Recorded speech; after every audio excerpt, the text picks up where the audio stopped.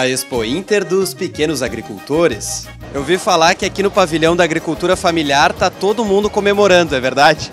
Com certeza. As vendas no ano passado já foram muito boas e esse ano elas se acima das expectativas. Melhor Expo Inter, maior venda de todas as Expo Inter até hoje. Feira, que é também dos cabanheiros ou tratadores. Ginetes.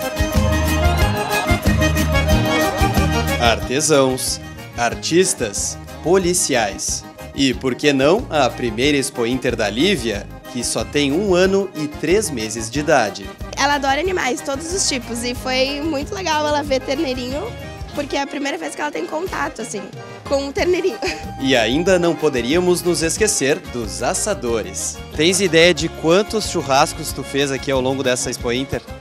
Olha, foi muitos. Na verdade, a gente faz de meio-dia ou de noite. A gente não tem o controle do número, mas é bastante que a gente faz. Né? Quantas pessoas vão comer esse churrasco hoje aqui? Aproximadamente 25 pessoas. 25? O maior de todos, então. É, o maior.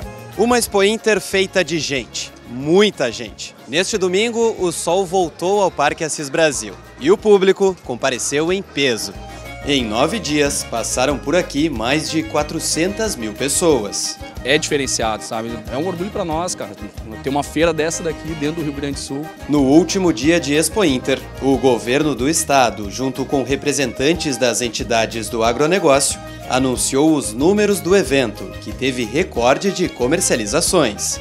2,6 bilhões de reais, 17% a mais do que no ano passado. Então, o volume de negócios expressivamente maior, 17%, o que confirma aí as nossas expectativas positivas para esta edição da Expo Inter e mais do que isso, também nos injeta muito otimismo e confiança na economia do Rio Grande do Sul, numa retomada uh, uh, econômica importante. Mais uma vez, o setor que mais vendeu foi o de máquinas e implementos agrícolas. 2 bilhões e meio de reais. Com menos leilões, o índice de venda de animais diminuiu 18%. O artesanato cresceu 8% e a agricultura familiar comercializou 13% a mais do que na última Expo Inter. A gente viu o otimismo, a gente viu a realização do agricultor que trabalhou durante um ano para chegar até esse momento.